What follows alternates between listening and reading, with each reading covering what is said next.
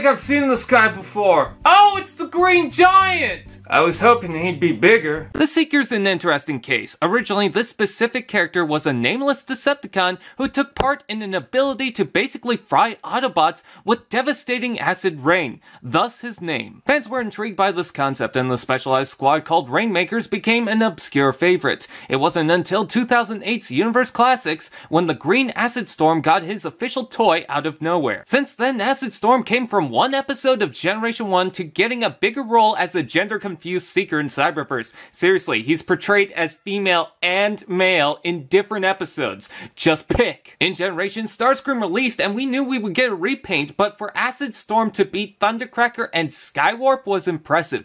But how did the toy do? Before we take a look at Acid Storm, early Legends figures include these half Target, half Micromasters. Acid Storm is packed with Venin, a somewhat new character. You see, the Starscream came with Waspinator. Originally, the follow-up repaint was going to be Thundercracker and was planned to include Venom based on an original Insecticon. But in the change of plans and probably copyright issues, Venin was born. First of all, ew, bug. Second, as a little figure, Venin is a bit of a looker. I like how the deco's countered from the Wasp, with the green and purple swapped. However, the feel of this figure should be taken as a delicate Fabergé egg. Bug mode is the most sturdy with the head holding it in place, but I still don't feel comfortable with messing with it. It's got a peg on the back so you can plug it into the hand of some toys and what kind of Twilight Zone shit is this? Does he swat bugs with it? The legs can move, physically speaking, but each joint is connected by another leg, so it's best to, well, try to line them up, and by try, I mean I hate these rubbery little... It's fine. In robot mode, you can definitely see the Waspinator in this, but with the black head, it kind of gives him his own personal vibe. It has a surprising amount of movement. Individual arms, legs are combined, but they do move, and the backpack can fuck itself. This junk really doesn't like to stay. I wish there was a tab to keep it together. Whenever I pick it up, I have to fix it. I guess it could be a flying effect, but it's lame. You could give him the Seeker null rays on the smaller peg. Doesn't really stand, but if you can manage, then Rambo mode. Fold down the peg, bring together the back wings, and the barrel will extend to become a gun. You can see the robot from the bottom, and the legs are gross, but the execution is better than some of the other figures. Basic, but as a bonus, I can't really complain. Acid Storm transforms into a bright green jet similar in design to the IDW concept. The color might not be for everyone given how vibrant it is, but for me, I wish I could make love to colors. Such a beautiful, eye-catching color that's perfect for the original cartoon, who retained mostly green in the color scheme, but they threw in a taste of silver, white, and purple with two standout Decepticon symbols. And they didn't just trace around with white, that Decepticon logo has a slightly darker tone. I mean, I guess extra points, but we didn't offer extra credit. There's a burnt orange cockpit, but without a trace of color, it just looks like a baby diarrhea smudge. Landing gear on the front and two at the knees. While the back is stationary, the one in the front does fold up. But if you don't hold the rubber cockpit, you'll get into some issues. But I'm glad to say the Snoop droops. And when he pours acid rain on his foes, he could witness it as it unfolds. At night, all he could hear is the scream. Unless he's Pyro from TF2. I could be wrong here, but the shape almost feels like the classic style jet, but with the proportions of the F-22 model used for Starscream in the film. Anyone else get that? I don't know why I'm waiting for an answer on the pre-recorded video. You can plug a weapon on top, including Venin himself, but you also get two null rays that attach to the sides. Plugs right in, and you don't need to remove it for the transformation. Little easy to knock it out of place, but easy to readjust. Besides, without it, it just feels naked. The alt mode will bring you back to the classic episode, more so the very scene he was introduced. The excellent shape and bright color of green pops, making this very appealing. Robot mode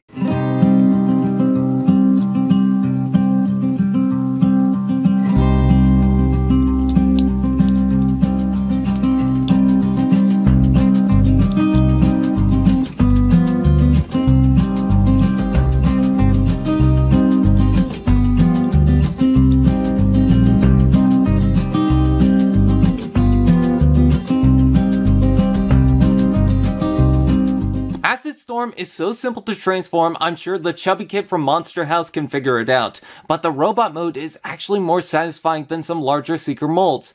Have I mentioned Power of the Prime Starscream is pure puke? Robot mode brings in more silver and black, but the green remains prominent. Now that is one spicy Italian specially prepared a meatball. One thing that's disappointing is the head. The paint is a little messy, it gets the point across, and the sculpt has all the features of a Seeker, but with the pin shoved right in there, there's no head articulation. Given the size, it's not a big problem, just a burden of how it's developed. Do you know what acid rain does to robots? Are you proud yourself?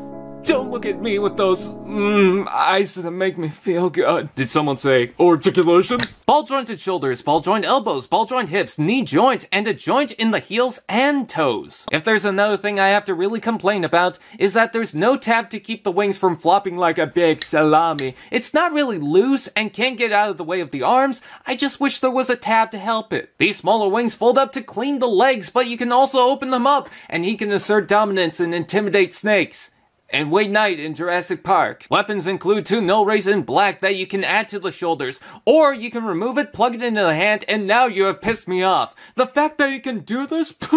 Despicable. I will take my ignorance elsewhere. If you move the arms, chances are you'll have to rework the null rays in place. But hey, be patient. Some men need a little work. At least it's on the upper arms this time. Mm, makes me a giddy little boy, but even better is that he actually uses the cockpit as the chest.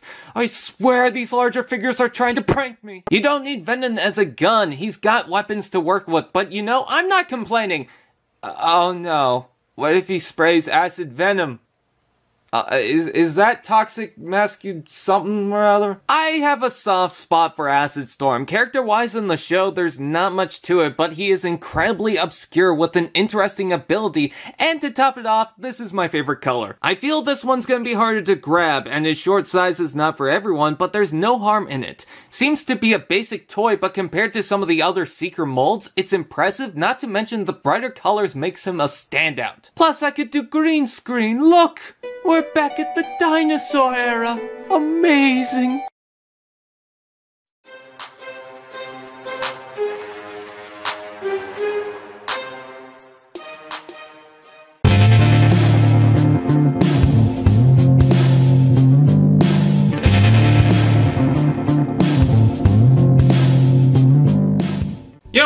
Hate the Transformers films give Michael Bay a lot of flack. I mean, yeah, The Last Knight is a garbage film, but there's some stuff that I can find that I appreciate. You got some little girl in there for like 10 minutes not doing much, but you know, girl power. A romantic girl that's not just delicious string cheese, perhaps? I say perhaps because we're still trying to figure that out. Characters like Cogman and Anthony Hopkins, body who's been taken over by a child's mind. I guess Bay really did learn his lesson after all these years. What's that? A transformer that speaks with a French accent but isn't actually French?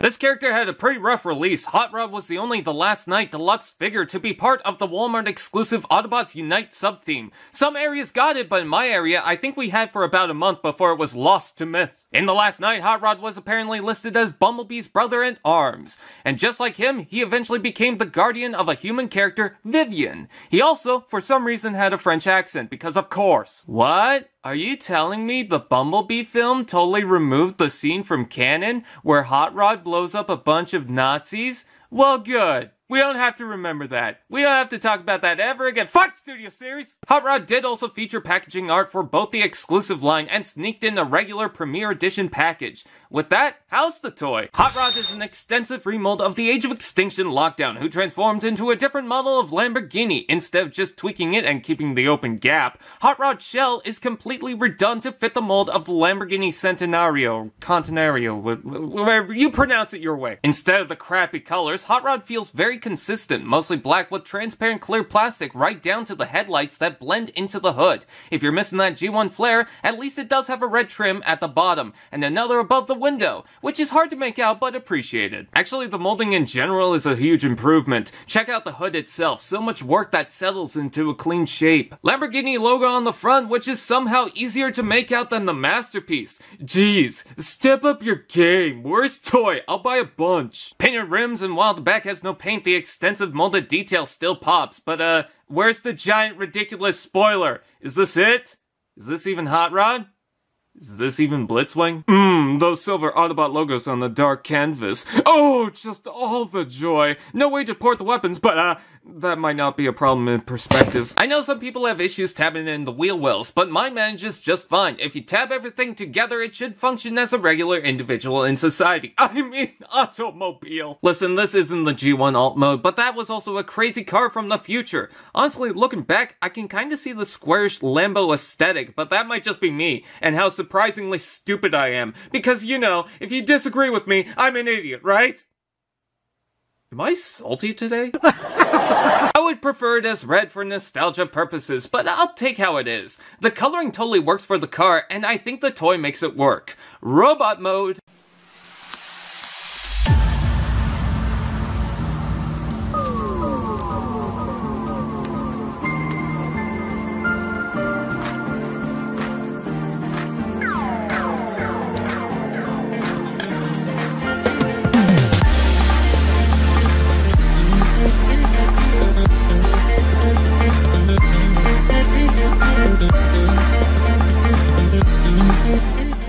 Design is interesting to say the least. With the giant shoulder pads and the head sculpt, I'm not sure what they're going for exactly. Oh, French! Oui, oui, baguette! Let's get the elephant out of the room. There was some argument before release whether or not this was a remold of Lockdown. I mean, from a glance, you can see the resemblance, but there's a lot that's changed. Arms are almost completely new, and the way they built the body that compresses into itself on the front, extending both parts to fit the alt mode while keeping the general transformation process, allows him to be much taller than the undersized predecessor. Unlike Lockdown, Hot Rod decided to put a butt plate on himself. Good! Now you can stop shoving soda balls. I'm gonna stop right there. Other improvements include not being absolute shit. Don't let this fool you. It is an extreme remold. While most of the body is changed, the interior joints return. Examples include the little joint in the elbow, the piece attached to the shoulder pad, shoulder ball joint, assembly holding the neck and back and front of the torso, hip joints, and even the entire lower legs and feet, despite the fact he doesn't actually have toes.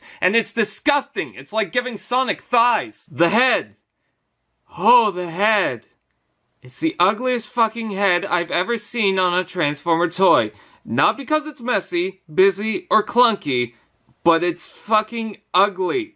At least it's painted well, but the eyes and mouth looks like a blobfish. Have I been gnomed? To its credit, it's got a beret. I think it's got a visor installed. Watch out for these things on the back. I'm noticing stress marks, but you know, this thing is in constant pain. Did someone say, articulation?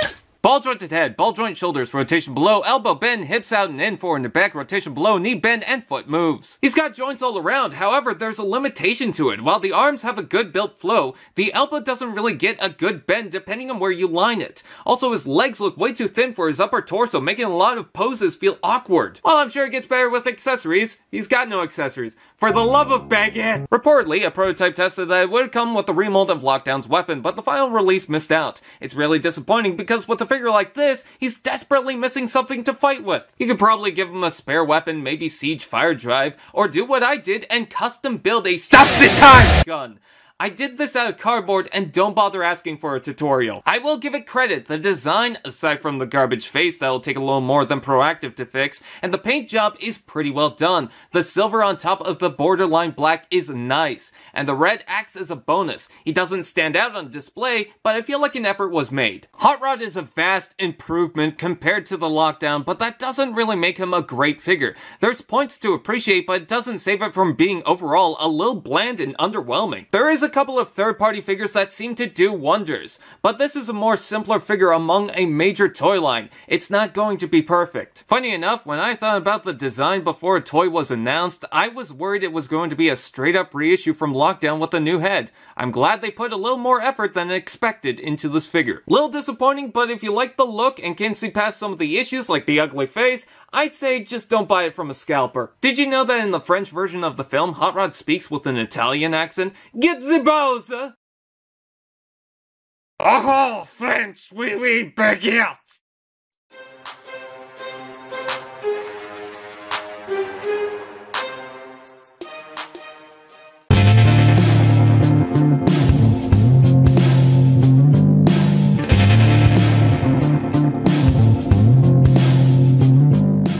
The Last Knight was not a good film, but to its credit, the previous design for Bumblebee was not pleasant. I mean, the toy is fine, but the CGI render is just... Yeah, so I'm glad that they went back to more classic design. Oh, what's that? You repainted the Age of Extinction Bumblebee that doesn't even look like the right design for the Last Knight toy line? That's some tasty bullshit right there. Took you two waves, but you got right. Crankcase, anyone? Do we need to introduce this guy? We all know who he is. It was surprising to see Bumblebee in the first wave receiving the repaint treatment with a wrong design. I guess it's true. It's all about the money. Only took them two waves later to bring us a proper Bumblebee. Now you have something to take on promotion bait. I mean Nemesis Prime. With his newly redesigned alt mode and proper sculpt, how is the toy? In alt mode, Bumblebee transforms into a 2017 Chevrolet Camaro concept. I just want to make a point. It's a hassle trying to tab things in. These back windows have to line up properly. There's tabs on the back windows that tab into the foot. The front window needs to sneak into some pegs. Just, eh. Even when you try to get everything together, I'm sure something will go wrong. These sides with the wheels don't like to stay in place on one side. But is the result of the car worth it? Maybe if you look at it from far away. I don't mind the shift in color from molded to painted yellow, but the black deco that suddenly stops is a bit distracting. But the biggest offense is the panel lines that break up the front, leaking yellow plastic cracks. Complaints aside, there is something to admire with its overall design and what they were going for. The spoiler, hood, front, and back has this slick look that sneaks an aggressive tone that makes it more unique. Instead of two black stripes, he just has one large one. You do get a Chevy logo blue headlights, but they're pretty hard to see, and oddly enough, paint on the back. You know what? It kind of looks like a kitty cat. Very angry one. Also, I love Camaros, so I'm clearly a biased YouTuber. Probably best you unsub right now. I'm exposing myself for you. Personally, I would like painted rims, but this is actually accurate to the film. You win this round, Hasbro. You can also take the gun and plug it onto the side of the car. I guess you can somewhat imitate the scene where he drives down and shoots Barricade, but then I'm reminded that they brought back these two and barely do anything with it. Too bad you can't store it anywhere else other than the sides. Or you could throw it away. Clear windows, which could be distracting with the kibble behind it, but there's really not much thanks to the fact that it's not pressed against it like a robot just exploded inside the vehicle. It's certainly not perfect, but I do have an appreciation for it. It's a little more aggressive and different compared to other Camaros, so if you like it and aren't too picky, this might be fine. Robot mode.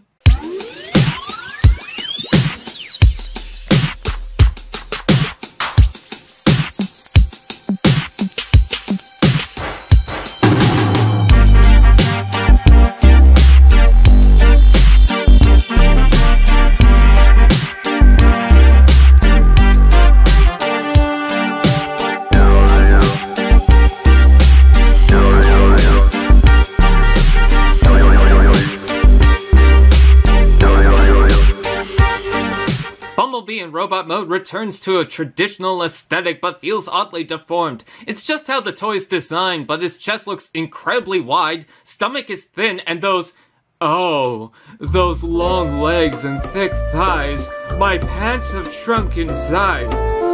Oh, these aren't my pants! I mean, it does look pretty weird, but still fits the realm of Bumblebee. Maybe I'm being more lenient on it? Or maybe it's about time we realize that Bumblebees come in different body shapes. The head sculpt looks like Bumblebee in concept, but just feels uncomfortable. The mouth feels stretched and the eyes... I don't like this. Did someone say, articulation? Ball jointed head, ball joint shoulders, rotation below, elbow bend, waist rotates, ball joint hips, rotation below, knee bend, and foot moves. For a Bumble Chungus, he actually poses pretty well. Just make sure the feet tap in properly. I heard that there's a common issue, but mine seems to be okay. I just gotta watch out for the crack on the hinge that's, uh, uh, should I even joke about it? Let's take a look at the weapon. You can dislocate the arm from the mushroom peg, which, eh, the stress of it, and replace it with this traditional cannon. It's supposed to only attach to this one side for elbow motion, but if you don't care, you can switch it. You can do this with the cannon too, but for storage, you can shove the arm on his butt. If it could only stay in place, one slip and it's spillage on aisle. Oopsie. I do like how the back of the car fills the side of the leg, but sadly it leaves the other side hollow. And while it seems boxy and wide, from the back of the robot, the entire top folds in to make a somewhat clean design. Studio Series Bumblebee movie Bumblebee attempted this, but completely fails trying to jam everything in. This Bumblebee flows a lot better. It's almost like this one released after tweaking some of the issues. His chest doesn't snap into place and messing with the toy, you can accidentally fold them out of place, but hey, at least you got titty movement! Bumblebee is not a complete disaster, but there's some clear problems with the mold. The alt mode has gaps that ruin the car, and the robot has a lumpy look to it. These are just a few nitpicks among a decent list, but if you can get behind all that, I'd say this mold might be something to look into. Not perfect, but out of the three molds released within a year of each other, this might be the best option. Now assert your dominance on the Nemesis Prime and save us from terrible films!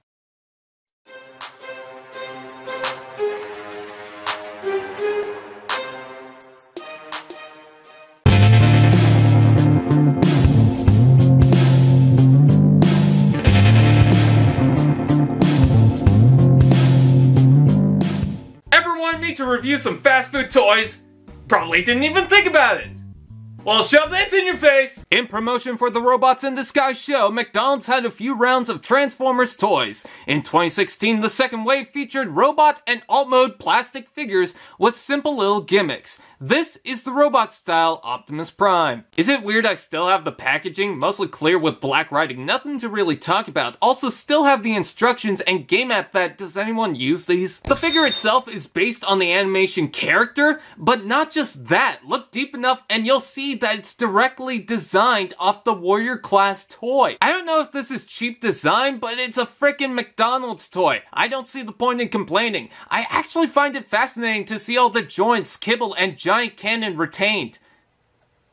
Oh wait, he didn't have the cannon. Head super small and the ears feel reduced, but totally has the animation look with the odd stretched face mask and huge neck. Did someone say, articulation? Head rotates, shoulders forward and back, and waist rotates. There's more paint than needed. All the black windows, Autobot symbol, it's surprising. He's also covered in 5mm ports so you can attach a ton of weapons. I wish more McDonald's figures did this. I should get Cog and see what we could play with. He does come with an oversized missile that can be fired using the button on the top.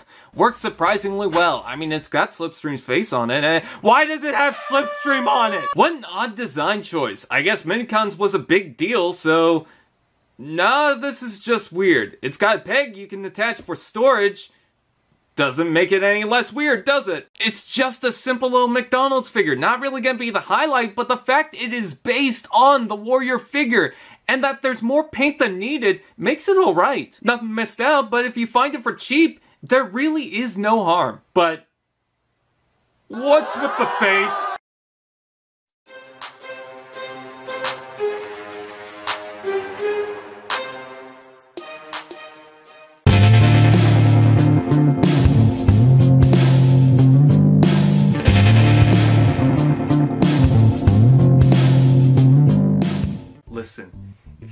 Make my little warpath uncomfortable in any way, I will destroy everything that you love. Everything that you hope for will be despair, a void of nothingness. Or maybe I'll just write a strongly worded message on social media. Maybe that one. Warpath is a war crazy, pow blasting, kapow shooting darling. My god, I love this minibot so damn much. It just. So beautiful. If you don't understand or appreciate him, you're completely uncultured. You have a chance to make up for what you brought since Warpath is getting a reissue. So with that, how's the toy? Warpath transforms into a tiny little tank. Colors in pearl gray and maroon. Such a small thing, but man, what a kablam! Zowie! It brings to the table. I'm so satisfied with the rectangular shape, with barely any panel lines that cut off the cohesive detail. If anything, it only adds to the proper style. Flashy silver treads with multiple wheels inside, giving a consistent design, but nothing here actually rolls. There's two wheels on the front and one little wheel in the back that doesn't really do much. I don't doubt the firepower when saying this is an adorable little turret. Love the detail spins completely around, and the section that looks like a secondary canopy, that's where his head is. So you can totally have fun with this. There is a little rub sticker on the front, but after so long, it doesn't really do much. If you're wondering what side he's on, I don't think it matters. We love him as is. Amazing little desk toy. Clean enough to even deceive coworkers. Warpath is such a small tank, but that's what makes him so enjoyable. Cute, charming, and powerful. Robot mode.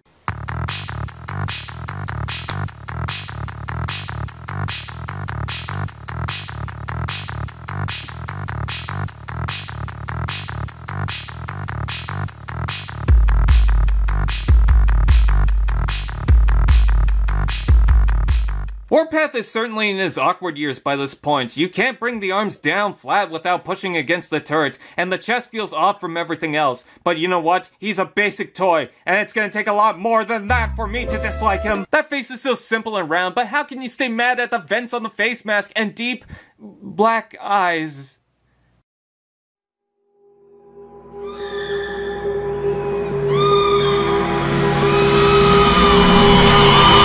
I'm hoping that's my own crap in my pants. Did someone say articulation? Thanks to the turret, he can look side to side, arms move, and if you want, the feet can move, though they can flop. I'm not turtly enough, so I'm gonna go in my shell. Articulation is lacking, but the charm comes from what they've done with how simple it is. And I think they made a fun little piece. At least he's got physical hands molded in, and the treads on his feet? You see him rolling. Are you jealous? And how can we look past the turret in his chest? One of the most iconic parts that makes Warpath who he is. Not that he's had it in every figure, but when you see this, you know exactly who's blaming around. Why this isn't in a Michael Bay film is absolutely confusing. It represents all of the films without the garbage, and it's not even in the movies. Just a game nobody seems to care about. If you don't get it, that's fine, but he's just so charming that I have to appreciate it. This is a new kind of class that needs to be displayed. If you can't get the original, try and get the reissue. I don't think you'll regret it. This is a fun little toy and deserves the love. Kapow! Wow! Shazam! Oh.